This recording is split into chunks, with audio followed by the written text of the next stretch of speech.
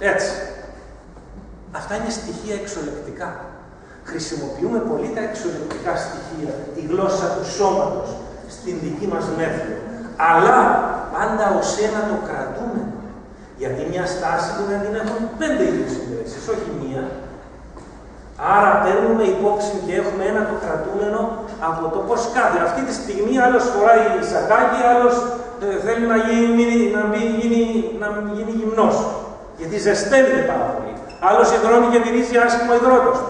Άλλος είναι λιμένος στην τρίχα και άλλος είναι, ξέρω, με σκισμένο παντελόνι, αυτό. Ε, άλλος είναι φτενισμένος στην τρίχα, άλλος αλλιώς. Άλλος έχει σωματότυπο αχλαδοειδή, γυναίκες κυρίως, εδώ πλατιά λεκάνη, εδώ στενός κορμός, άλλος έχει ένα κόψιμο, έτσι. Όλα αυτά. Άλλος έχει αναπτυγμένο μυϊκό σύστημα, άλλος δεν έχει. Όλα αυτά είναι πληροφορίες. Άλλος με κοιτάει έτσι και λέει, τι λέει, τι λέει, και άλλος δεν. Όλα αυτά είναι πληροφορίες. Άλλος είναι συνοφιωμένο και λέει πότε θα αποδείξει επιστημονικά αυτά που λέει, πότε θα μας φέρει έρευνες να μας αποδείξει αυτά που λέει. Δεν είδα τίποτα slides εδώ πέρα κλπ. Και άλλος θα πει, Α, μωρέ, τι ωραία που τα λέει αυτός. Όλα αυτά είναι πληροφορίες για τον ομοιοπαθητικό γιατρό. Χτυπάει ο άλλος το κουδούνι από κάτω από το ιατρείο. Τρίν! Και λες από τον καριδό. Άλλο χτυπάει δειλά. Τρίν! Ξέρω εγώ. Περιμένει λίγο, λέει, μήπως δεν το, δεν το πιάσε καλά τον τρίγ, να ξαναχτυπήσω, αλλά περιμένει τρία λεπτά. Έτσι. Τρίγ, τρίγ. Τόλμησε δυο φορές. Άλλος μπαίνει μέσα και λέει στο ιατρείο και λέει όλα αυτά πριν ξεκινήσουμε το πρωταθλητικό. Μπαίνει μέσα και λέει κάθεται έτσι εδώ, γεια σου γιατρέ, κάτσε να φέρω κοντά την καρέκλα. Κάθεται μπροστά και λέει Γεια σου γιατρέ, τι κάνεις από πού είσαι γιατί. Α, πατριωτάκι είσαι, ξέρω εγώ, θυμάσαι αυτό εκεί να πάμε να πούμε και κανένα ουζάκι μετά. Άλλος μπαίνει μέσα και είναι αμήλυτο. Γιατί δεν πεις στο κουτό ή να είναι κάποια ώρα να ξέρει γιατί ανεβαίνει από τις κάρτες. Γιατί έχει κλειστοφοβία. Όλα αυτά είναι στοιχεία. Μετά ρωτάμε και ζεστέρες εκκριώνεις, προτιμήσεις για γεύσεις, από νεύρα πώς τα πάμε κλπ. Αν του έχει συμβεί ένα γεγονός πρόσφατα που τον έχει επηρεάσει, ρωτάμε πώς το πήρε, γιατί αλλιώς το παίρνει κάποιος. Κάποιος χωρίζει και λέει τριαλαρή, τριαλό, γλίτωσα. Άλλος χωρίζει και λέει να πάρω αυτοκτονήσω, δεν τελείωσε η ζωή. Έτσι.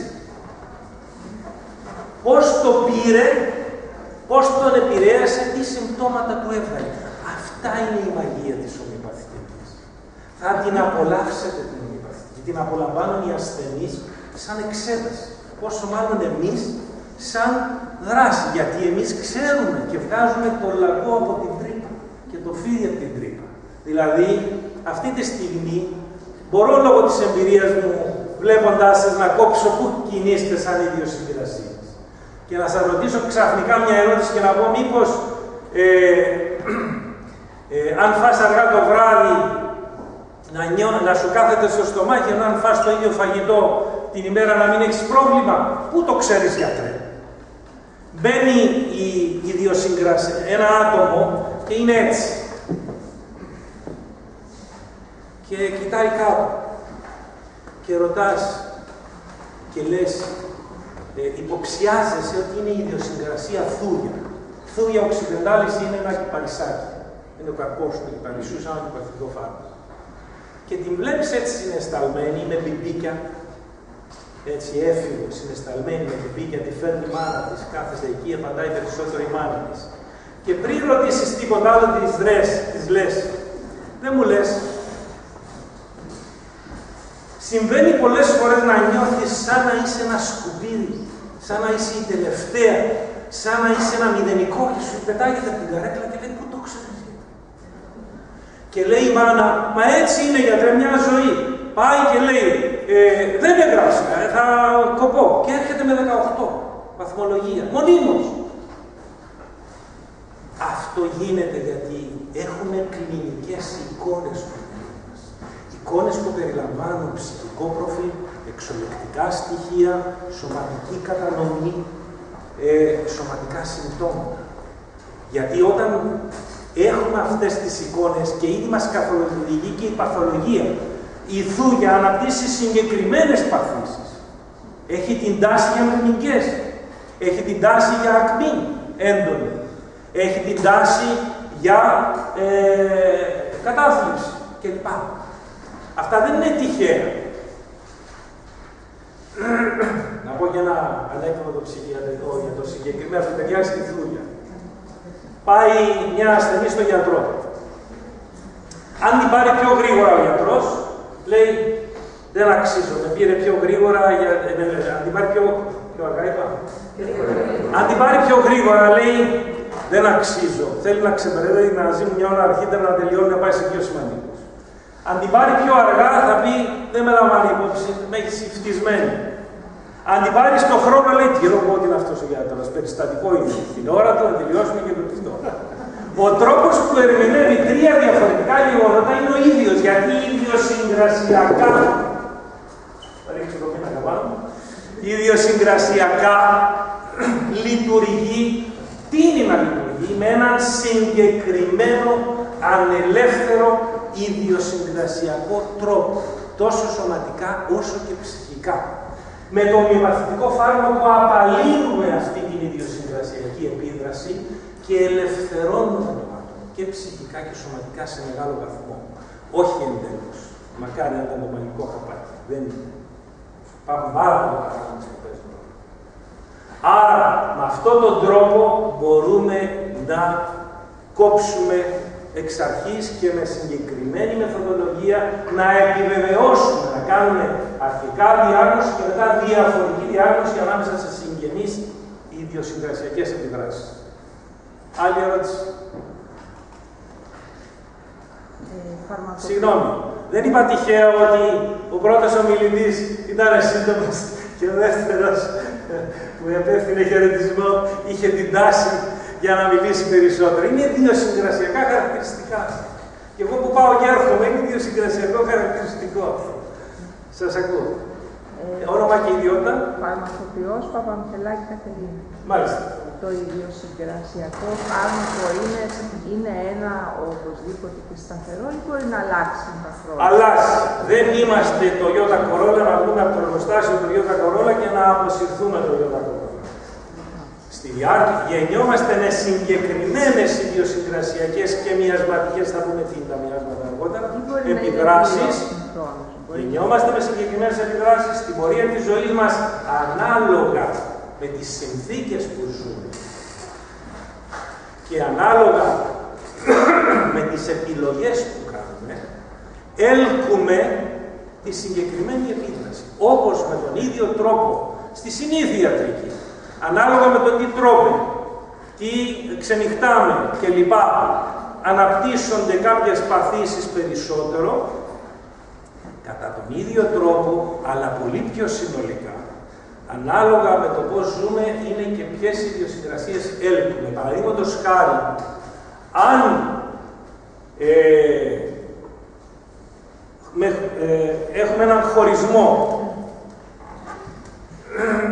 και η συγκεκριμένη γυναίκα που την χώρισε το συγκεκριμένο άτομο, άντρας, έχει ένα υπόβαθρο ψωρικό, όπως θα πούμε στη συνέχεια, δηλαδή ένα υπόβαθρο συναισθαλμένου, εσωστρεφούς, ανασφαλούς ατόμου, είναι πολύ πιο πιθανό να εμφανίσει μια ιδιοσυγκρασία πρόσκαιρη, καινούρια, που λέγεται Ιγνάσια, που ταιριάζει στην ερωτική απογοήτευση, την γνωστή. Αλλά υπάρχουν πολλών ειδών ερωτικές απογοητεύσεις. Υπάρχει ερωτική απογοήτευση του που είμαι να, ε, Ιγνάσια και κλείνω και κλαίω και δεν θέλω κόσμο και μαζεύω. Και υπάρχει και η ερωτική απογοήτευση που λέει θα δεις τι θα σου κάνω. θα σου αλλάξω τα φώτα. Εντάξει. Είναι άλλη ιδιοσυγκρασία η μία και άλλη ιδιοσυγκρασία η άλλη. Εξαρτάται από το υπόβαθρό μου τι θα αναπτύξω. Αν εγώ πω ότι Είμαι μια ωραία μοιραία γυναίκα. Όμορφη, θέλω να γίνω η πρώτη, η καλύτερη, θέλω να γίνω το μοντέλο, είμαι star. Το έχω πει star. Έτσι, είμαι star. Τότε τίνω να έλξω την ιδιοσυγκρασιακή επίδραση τη συγκεκριμένη που ταιριάζει σε αυτό.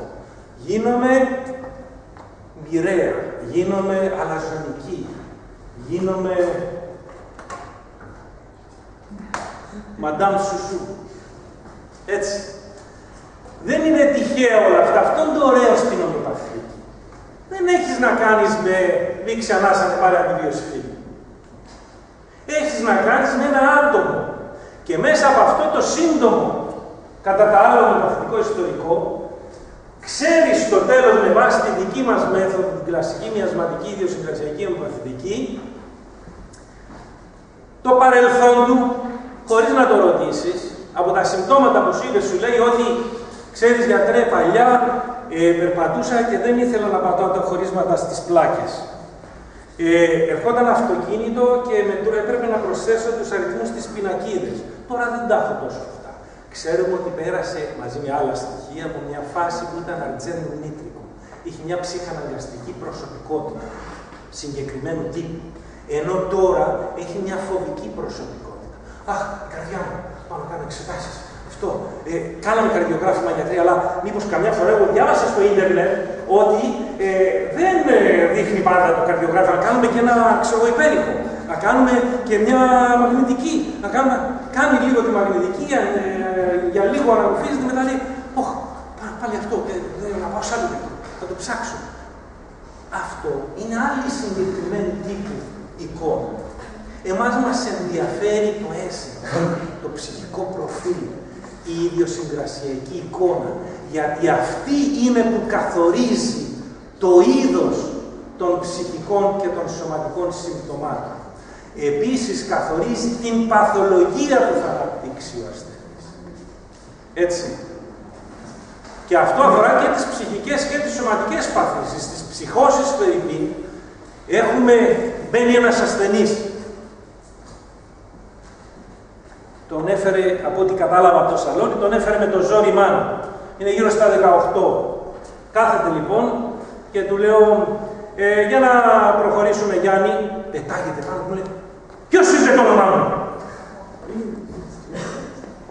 Τι κάνετε εδώ μέσα, κάτι κάνετε; Τι ήταν, μια ψυχοσική κατάσταση ή προψυχοσική κατάσταση, όπου έχει αυτή την ιδέα της καταδιώξεως ότι συνομωτούν εναντίον του. Η μάνα του κάτι είπε σε μένα και κάτι κάναμε για να τον βάλουμε, ξέρω και τα λοιπά. Και δεν τρώει το φαΐ της μάνας του γιατί φοβάται ότι θα τον δηλητηριάσει.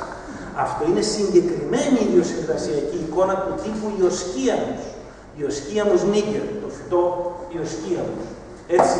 Δηλαδή, από όλη την παθολογία έχουμε τη δυνατότητα να βγάλουμε ζουμί στην ομοιοπαθία. Και γι' αυτό μπορούμε να μπούμε στην ψυχή του άλλου.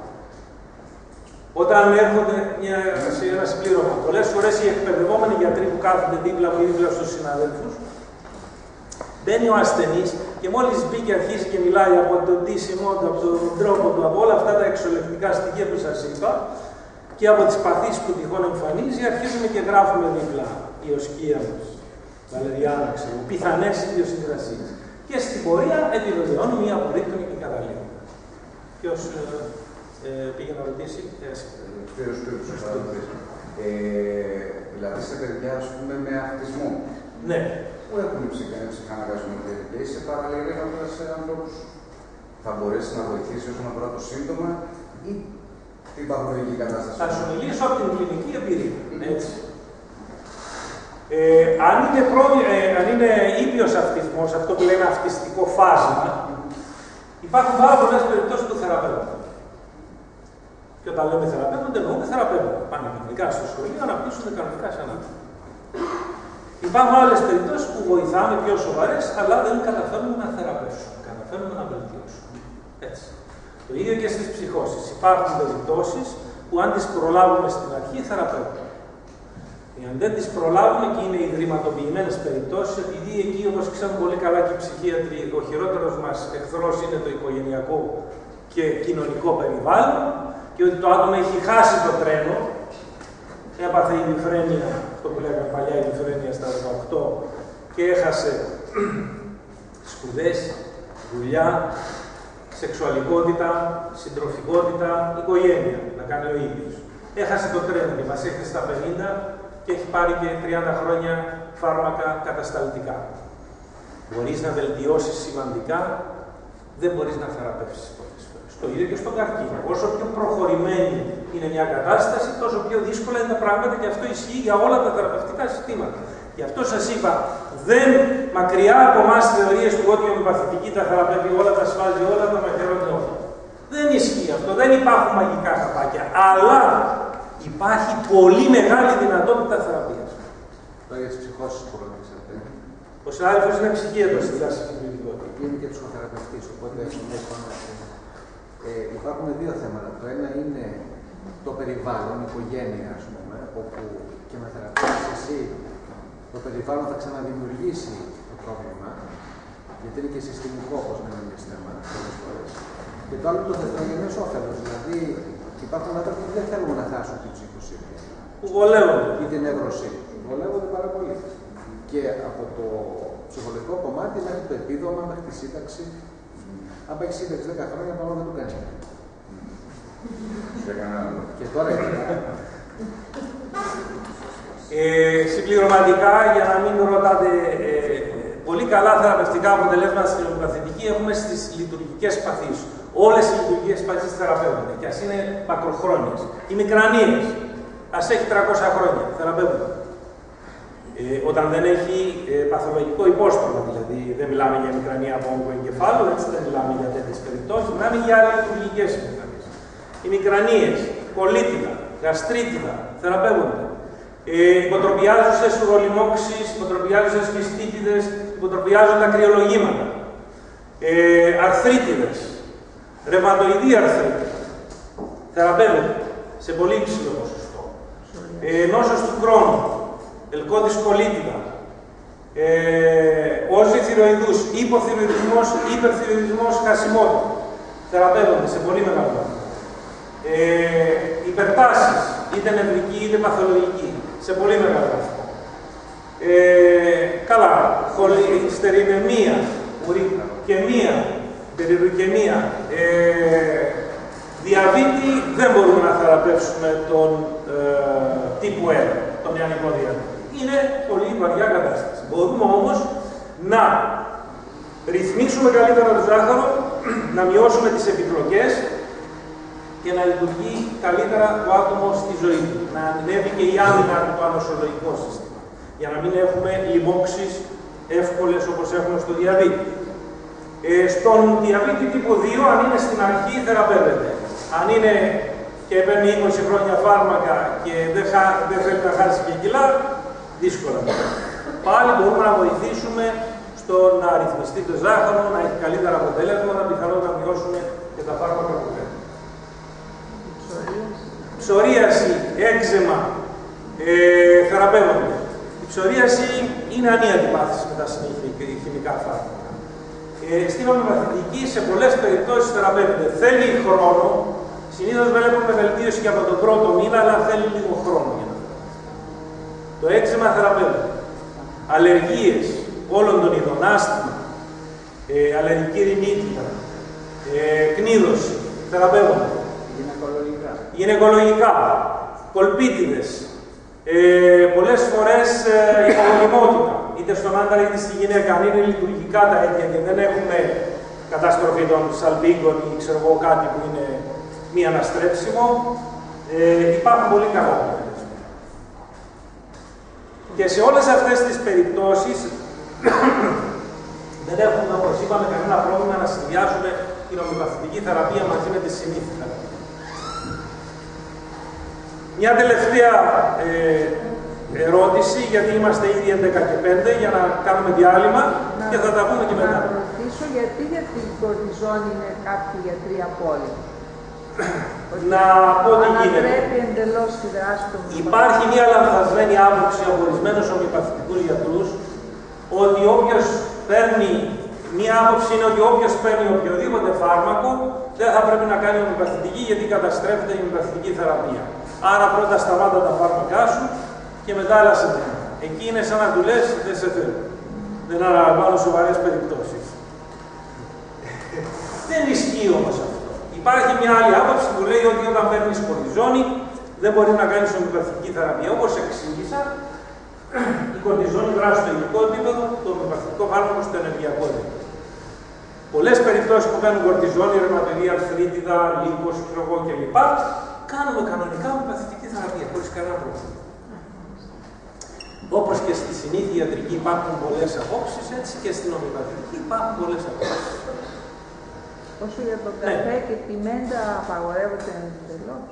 Έχουμε βρει εμπειρικά ότι ο καφές, ο κανονικός καφές, όχι το είναι, και ό,τι περιέχει καφεΐνη αντιρρητεί την ενεργειακή δράση του ομοιοπαθητικού φαρμάκου. Αυτό σημαίνει ότι ή μπορεί να μην μας αφήσει να δούμε αποτέλεσμα ή να πάμε καλά και να ξαναπέσουμε. Όχι εντελώς, αλλά να πέσουμε και να διαστεί να ξαναδώσουμε. Μια τελευταία ερώτηση. Σας κάνω. Ωραία. 11.30 ώρα ξαναβρισκόμαστε. Ε, πριν φύγετε, υπάρχει η εδώ, υπάρχει και έξω. Πριν φύγετε, ε, θέλω να συνεννοηθούμε λιγάκι για κάποια θέματα. Ε, θα τους ενημερώσεις λιγάκι, να κλείσω εγώ. Έχουν έρθει για πρώτη φορά και δεν έχουν πάρει το φυλάδιο.